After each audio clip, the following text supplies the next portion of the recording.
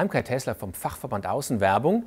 I'm talking to Florian about um, out of home, about digital out of home, and about business in general.